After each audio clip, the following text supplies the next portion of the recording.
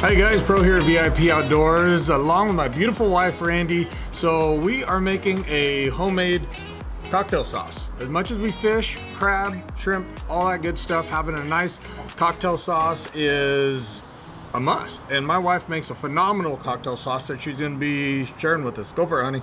Let's see what you got. Hi, you guys. So this is a super simple recipe, and in fact, this is the way that I locked this one down. So ladies, if you're out there, take note.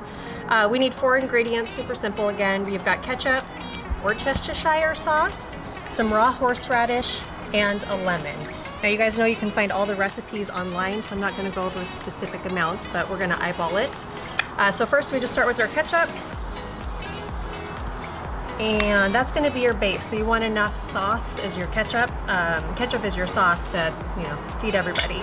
And then next I start with, or put the horseradish in. This is the raw horseradish, guys. You could use the creamy if you wanted, but we just use Don't be a sissy. Use the raw stuff. You know what? This is this is a channel about harvesting animals, cooking animals. Use the good stuff. use the good stuff. Um, if you can tolerate kind of the heat, go ahead and use a little bit more. If you are wimpy um, or don't like the heat, don't quite use as much. We're gonna put in a little bit of the Worcestershire and then finally squirt a lemon.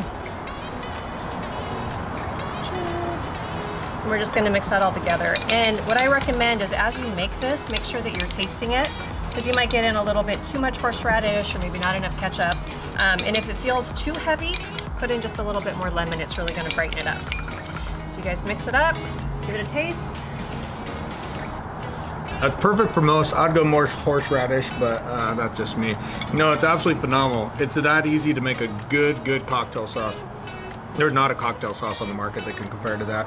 And again, very simple ingredients that you probably have in the pantry anyways. So thanks for watching. Really appreciate you guys. Make sure you leave your comments down below. If you're new to us, hit that subscribe button. We look forward to seeing you in the next video.